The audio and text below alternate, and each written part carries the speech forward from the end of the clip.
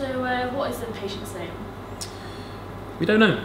Uh, truth of it, she came to us with no information. We've got found no DNA records, no past evidence of her anywhere, really. Um, she's a nobody.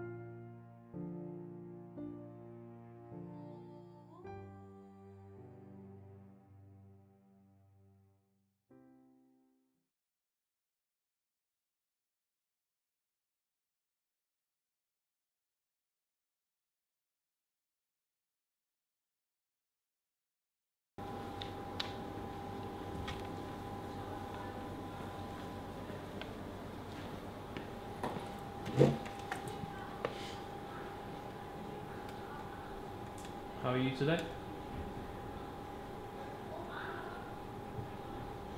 So you've been showing signs of unrest. You've been distracted. Not concentrating on anything, not taking your meds. Not spoken since. You know when. You've been irritable. You've been sleeping.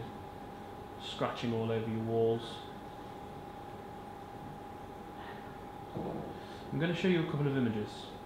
This is a Rorschach test designed to provoke a response. I want you to tell me the first thing that comes into your head when you see these images.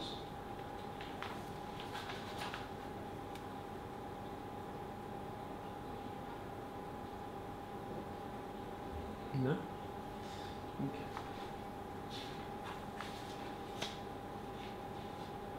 How about this one?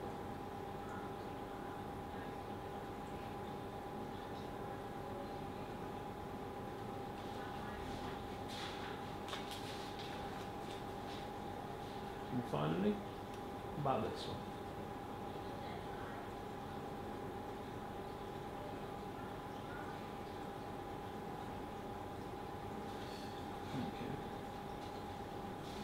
Going to be keeping an eye on you a lot more closely for the next couple of weeks. There's nothing more I have to say.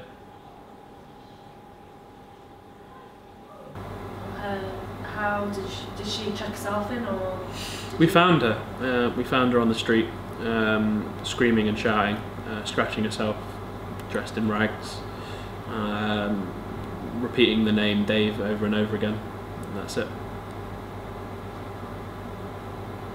How has she developed since she's been here?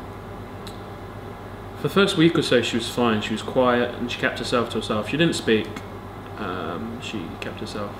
Um, and then about a day or two after her first visit from uh, a friend or family member, we don't know who it was. Um, we don't know if they were a family member, but after that, she changed.